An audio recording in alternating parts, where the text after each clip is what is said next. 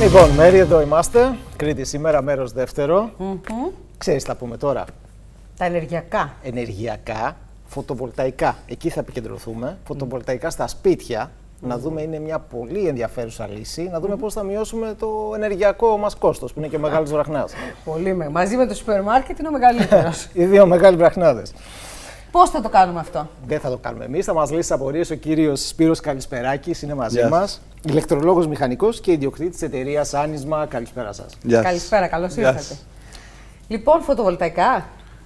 Ναι, νομίζω μετά από όλη τη σύγχυση που είχαν οι άνθρωποι με τις λογαριασμούς ρεύματος και όλα αυτά τα χρώματα και τα Ναι. λοιπά και όλο αυτό το θέμα και ήθελα έτσι να κάνω μια μικρή εισαγωγή Βεβαίως. ότι ε, η ηλεκτρική ενέργεια πια έχει γίνει χρηματιστήριο Βέβαια. σε πανευρωπαϊκά. Άρα είναι κάτι το οποίο έχει διακοιμάσεις σε, σε ημερήσια βάση και αυτό ήταν και το νόημα των χρωματιστών τιμολογίων. Να επιλέξει ο καταναλωτής αν θέλει να ακολουθεί ο λογαριασμός του αυτή τη διακύμανση ή να πληρώσει κάτι παραπάνω και να έχει μια ασφάλεια ως προς την τιμή.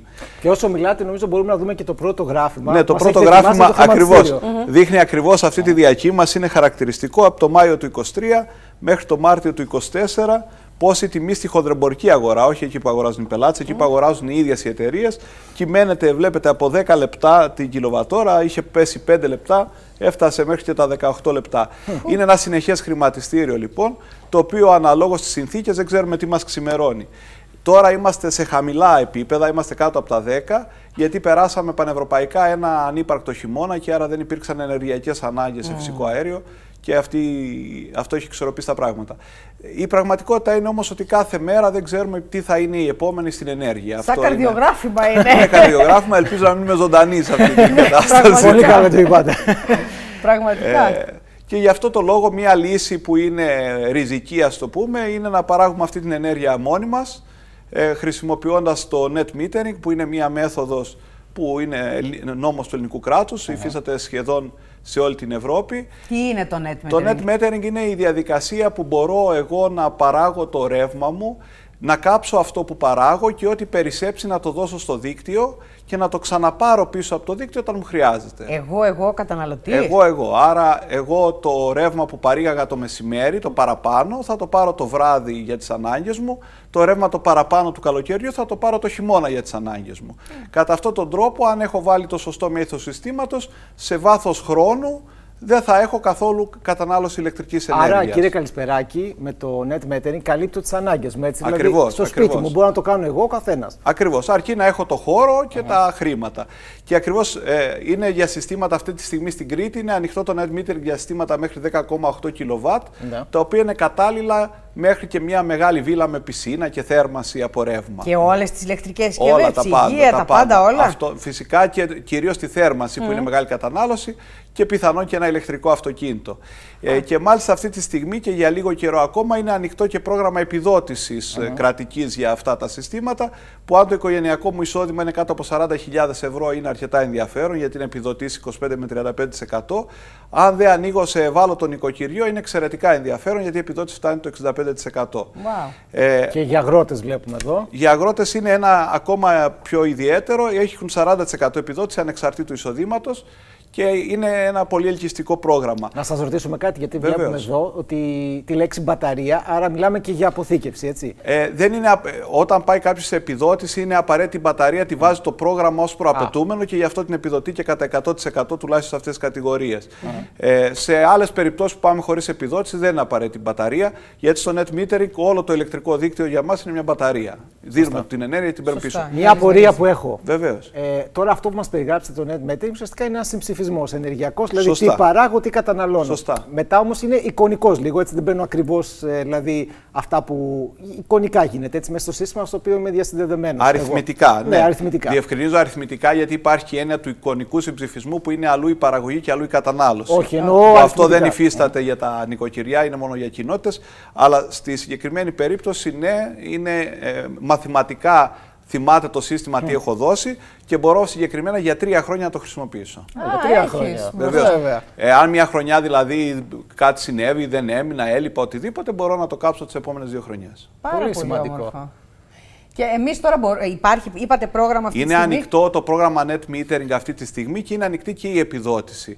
Τα οποία και τα δύο είναι αμφίβολο για το πόσο θα διαρκέσουν, γιατί ξέρετε, επειδή πράγματα φωτοβολταϊκά συνεχώς γίνονται φτηνότερα, συνεχώς μειώνονται και τα κίνητρα του συστήματος και άρα η συνέχεια θα είναι μάλλον προς το δυσμενέστερο. Άρα, αν κάποιος το σκέφτεται, καλό είναι να κινηθεί Να κινηθεί έγκαιρα. τώρα. Ναι, τουλάχιστον να πάρει τις κατάλληλες άδειες κτλ. Μμμ. Πάρα πολύ ωραία. Αυτό τώρα είναι ένα πρόγραμμα βεβαίως που είναι διαδεδομένο και σε άλλες χώρες. Και στην Κύπρο έχω την αίσθηση πάρα πολύ έτσι, κύριε Φυ- Καλησπέρα. φυσικά, σε γενικές γραμμές είναι ένα πρόγραμμα που τρέχει σε όλη την Ευρώπη. Απλά η υπόλοιπη Ευρώπη ήδη έχει πάει σε δυσμενέστερα σενάρια. Εμείς είμαστε οι πιο ευνοημένοι, είμαστε οι πιο ευνοημένοι και από τον ήλιο. Φανταστείτε ότι στην Κρήτη ένα πάνελ παράγει δύο φορές από ό,τι παράγει στη Γερμανία. Άρα το ίδιο σύστημα του παράγει τη Λογικό. διπλάσια ενέργειας. Λέω ότι η Κρήτη είναι η Σαουδική Αραβία του ήλιου, έτσι, δηλαδή στην Ευρώπη. Ε, και ταυτόχρονα έχουμε και το πιο ευνοϊκό νομικό καθεστώς. Γι' αυτό είναι και πολύ πιθανό σύντομα να γίνει δυσμενέστερο από ό,τι είναι τώρα. Α, ε, εδώ είναι ένα παράδειγμα ενός λογαριασμού. Είναι Mm. μεγάλος λογαριασμός βέβαια συγκεκριμένος, δεν έχει σημασία.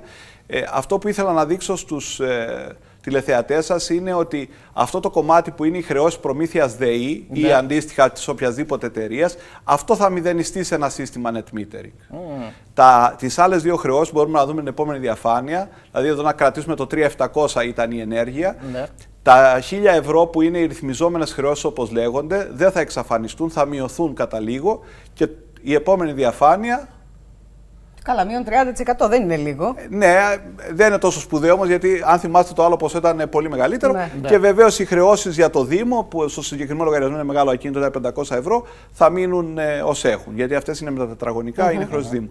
Σε αυτό το λογαριασμό δηλαδή που είδαμε ενδεικτικά, θα έφευγε το πρώτο κομμάτι που ήταν και το πολύ βαρύ. Που ήταν το μεγάλο. Και το 3.600 κυριότερο, πόσο ήταν; ακριβώς, είναι και το κομμάτι που είναι στο χρηματιστήριο. Τα άλλα δύο είναι σταθερά. Αυτό που αλλάζει αναλόγως στις διακοιμάνσει της ενέργειας είναι το πρώτο κομμάτι, το οποίο θα μηδενιστεί. Τέλεια. Έτσι, για να το βλέπουμε με ένα απλό, έτσι, απτό, πρακτικό. Ακριβώς, ακριβώς. παράδειγμα. Ξέρετε, πολλές φορές με ρωτούν πόσο θα μειωθεί ο λογαριασμός. Δεν το ξέρουμε. Γιατί όταν είναι φτηνή ενέργεια, ο λογαριασμός μειώνεται περίπου στο μισο Όταν είναι ακριβή ενέργεια, μπορεί η μείωση να είναι το, εν- το, τα τρία τέταρτα. Γιατί η ενέργεια είναι που μεγα, ακριβένει και Βέβαια. φτηνίζει, α, που εμείς αυτό μηδενίζουμε. Τα άλλα μένουν σταθερά. Λοιπόν, Εδώ τώρα τι βλέπουμε, κύριε Καλησπέρα; Βλέπουμε το πιθανό μέλλον. Αυτά δηλαδή που, που έρχονται και γι' αυτό είπα στους τηλεθεατές σας ότι όποιος έχει ανάγκη τέτοιου συστήματος και δυνατότητα είναι σκόπιμο να το κάνει τώρα. Ε, το πιθανό μέλλον είναι ότι θα επιτραπεί πιθανόν σε συστήματα μέχρι 100 kW net metering στην Κρήτη να εγκατασταθούν το επόμενο διάστημα. Άρα να καλυφθούν και επιχειρήσεις ή μικρά ξενοδοχεία ε, πολύ με, σημαντικό το, με αυτό. το σ- πρόγραμμα αυτό. Ε, το net metering δίνει εξαιρετικά γρήγορη απόσβεση, δηλαδή ένα σύστημα τέτοιας κατηγορίας 50 kW μπορεί να αποσβέσει στα 3,5 χρόνια, ας πούμε, έτσι, και μετά να έχω δωρεάν ενέργεια για πολλά χρόνια. Και για τα πάνω ε, ε, από τα 100 kW προβλέπεται το σύστημα net billing και εδώ υπάρχει και ένας ε, κίνδυνος και μια ανησυχία μήπως το net billing είναι για όλους. Αυτό είναι που λέμε το δυσμενέστερο. Να σας εξηγήσω τη διαφορά. Στο net billing την ενέργεια που δίνω στο δίκτυο ε, την πουλάω. Α, Αυτό ακούγεται ωραίο, αλλά δεν είναι, γιατί την πουλάω 6 λεπτά. Α. Ενώ εγώ θα την αγοράσω πίσω με την τρέχουσα τιμή. Α, Ενώ αλλιώς έδινα ενέργεια και έπαιρνα ενέργεια. Δεν Ναι. με ενδιέφερε που βρίσκεται το χρηματιστήριο. Σωστά. Άρα το net billing, ναι, μεν ένα μεγάλο ποσοστό θα κάψω του ήλιου που δεν θα, ούτε θα πουλήσω ούτε θα αγοράσω, αλλά αυτό που θα δώσω στο δίκτυο θα το πουλήσω και θα αγοράσω με μια άλλη τιμή. Το 6 λεπτά το είπα ενδεικτικά, αλλά είναι σε αυτή την τάξη μεγέθους. Άρα είναι σημαντικό, γι' αυτό το είπα και πριν, αν κάποιος θέλει ένα μέχρι 10,8 kW να το κάνει άμεσα. Ε, γιατί επέ- ε, ήδη η Εδώ- υπόλοιπη Ευρώπη είναι στο net billing και Α, οπότε προβλέπετε ότι το αμέσω επόμενο διάστημα θα πάμε προς τα εκεί, ε; ακριβώς. Ήδη στα πάνω από 100 θα πάμε εκεί, αλλά φοβόμαστε ότι και κάτω από τα 100 σύντομα θα είμαστε εκεί. Τώρα, κύριε Καλησπεράκη, κάποιος που μας βλέπει, τηλεθεατής, ε, θα σας πει: Εγώ ενδιαφέρομαι, αλλά ποιες είναι οι προποθέσει, μάλλον πού μπορώ να βάλω φωτοβολταϊκά Θα στο σας πω, σπίτι το μου; πρώτο πράγμα που βλέπουμε σε ένα... Νομίζω έχουμε και σχετικές σε- φωτογραφίες Ναι, ναι, μας θα έχετε. σας δείξω αμέσως μετά. Σε ένα άνθρωπο που ενδιαφέρεται για φωτοβολταϊκά, το πρώτο πράγμα που το ρωτάμε είναι τι ενέργεια καίει ένα χρόνο. Άρα παίρνουμε τους λογαριασμούς, γιατί οι άνθρωποι συνήθως θυμούνται χρήματα, ενώ εμάς μας ενδιαφέρει κιλοβατόρες. Ε, βλέπουμε τι καίει. Του κάνουμε μια προσπάθεια να προβλέψει το μέλλον του, αν θα πάρει ηλεκτρικό αυτοκίνητο, αν θα πάει τη θέρμασή του, αν θα φτιάξει κάποια πισίνα. Βλέπουμε από εκεί τι καίει και αυτό με βάση μια σχέση που υπάρχει στην Κρήτη, βλέπουμε τι μέγιστο σύστημα θέλει. Γιατί δεν έχει νόημα, όπως είπαμε, να είναι μεγαλύτερο, δεδομένου ότι αν δεν κάψει την ενέργειά μου, χάνεται. Χάνεται. Συνεπώς θα φτιάξουμε ένα σύστημα στις ανάγκες του. Έχουμε ένα επιπλέον με- πλεονέκτημα στην Κρήτη ότι αυτό το σύστημα, για να καταλάβουμε το μεγαλύτερο που επιτρέπεται αυτή τη στιγμή που είπαμε καλύπτει μια μεγάλη βίλα, είναι περίπου 50 τετραγωνικά τα πάνελ, έτσι, για να έχουμε μια εικόνα τι είναι αυτό. Φυσικά πρέπει να έχει την αντίστοιχη χω- χώρο στην αυλή του, στην ταράτσα του, όπου είναι νόμιμο να μπει τέλος πάντων. Και έχουμε και ένα επιπλέον καλό στην Κρήτη, ότι ακόμα και εντελώς ξαπλωτά, εντελώς οριζόντια να τα βάλουμε, η απόδοση πέφτει πολύ λίγο και κατά συνέπεια θα βάλουμε λίγο παραπάνω για να καλύψουμε τις ανάγκες του. Και αυτό το λέω γιατί έτσι μπορούμε να φτιάξουμε πολύ ωραία συστήματα, να μην ενοχλούν καθόλου αισθητικά. Δηλαδή να είναι στην ταράτσα κάτω, ας πούμε. Ακριβώς θα δούμε, ακριβώς Για γι' αυτό να με τις δούμε. φωτογραφίες. Ναι, για πάμε να δούμε. Ε, έτσι ώστε σε βίλες που λέμε κτλ. Εδώ βλέπουμε, ας πούμε, σε μια μικρή πολυκατοικία έχουν μπει με έναν τρόπο που δεν λίγα, φαίνεται ε. τίποτα απ' έξω. Ναι, Ναι, εδώ, εδώ είναι έχει σε ταράτσα καλυφθεί. πολυκατοικίας, έτσι. Ναι, ναι, εδώ τη χάνει βέβαια και ο ιδιο... ήταν ιδιοκτήτης όλης της πολυκατοικίας, γιατί στην πολυκατοικία πρέπει να έχουμε συνένεση και των άλλων ανθρώπων, είναι λίγο πιο περίπλοκο. Α δούμε μια άλλη φωτογραφία, έτσι να πάρουμε μια ιδέα από τρόπους εγκατάστασης. Εδώ, ας πούμε, είναι στο πάρκινγκ του ανθρώπου. Υπήρχε ήδη το πάρκινγκ που απλά καλύφθηκε με φωτοβολταϊκά για να αντιμετωπίσει. Εύκολες τις- λύσεις. Ναι, και κυρίως να μην ενοχλούν αισθητικά, να ενταχθούν μέσα στις κατασκευές. Έτσι. Εδώ βλέπουμε αντίστοιχα μια βίλα με μεγαλύτερες ανάγκες, το οποίο έχει καλυφθεί οι ενεργειακές ανάγκες με φωτοβολταϊκά. Να κάνω μια ερώτηση. Βεβαίως. Τώρα, αυτή η βίλα, ας πούμε, ή ένα μικρό ξενοδοχείο, μια επιχείρηση, άντε πες, τη συμφέρει να, να μπει σε αυτή τη διαδικασία. Ναι. Ένα νοικοκυριό, μια μονοκατοικία, ένα, μια διπλοκατοικία, μια οικογενειακή πολυκατοικία. Τη συμφέρει να μπει σε αυτή τη Γενικά, ναι, διαδικασία; αυτό φαίνεται από τις καταναλώσεις. Αν έχει κάποιες καταναλώσεις σοβαρές, η απόδοση είναι πολύ γρήγορη. Και μην ξεχνάμε ότι υπάρχει και πρόγραμμα επιδότησης. Άρα, αν οι άνθρωποι έχουν χα- χαμηλά εισοδήματα, γίνεται συμφέρον γιατί υπάρχει και η επιδότηση. Εδώ βλέπουμε τώρα μια άλλη εγκατάσταση που δεν μπορούμε να κάνουμε αυτή τη στιγμή στην Κρήτη, απλά επειδή θα ανοίξει σύντομα, που είναι σε μια βιομηχανική στέγη, ας πούμε.